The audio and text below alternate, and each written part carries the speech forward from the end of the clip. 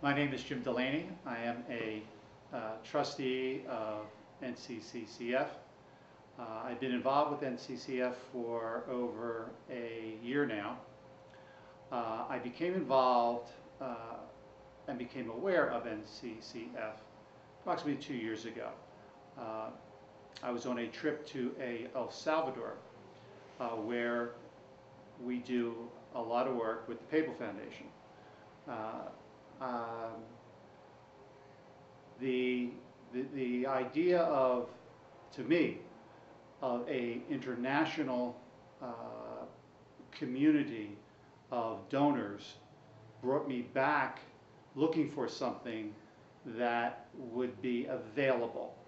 Uh, it proved to be a little, somewhat difficult. NCCF, with their community foundation, provides a vehicle to do this internationally in addition to nationally.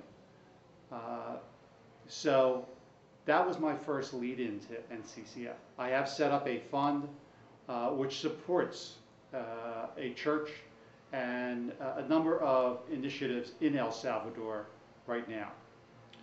Uh, so my, my experience with this uh, has been exciting and you know rewarding. The ease of setting up a uh, an account with NCCCF uh, also was uh, was very easy. I had looked at doing my own private foundation, and the difficulties and the expenses with doing that proved to be uh, somewhat extreme. NCCF really provides a similar type of benefit where the account is directed by myself through NCCF to various charities and charities that I decide it should go uh, without the overwhelming expense of a personal private foundation and the various risks in, in managing a personal private foundation.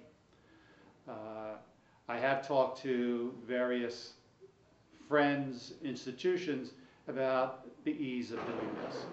Uh, I would rec- I do recommend that I am involved with a number of other uh, charitable organizations, from high schools to colleges uh, to religious orders. And there is a place for NCCF in all these institutions. Uh, NCCF has provided me with a like-minded community that I deal with.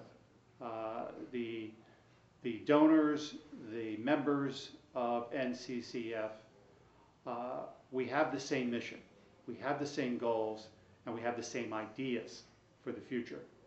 Not only the future for charities, but the future for the Catholic Church.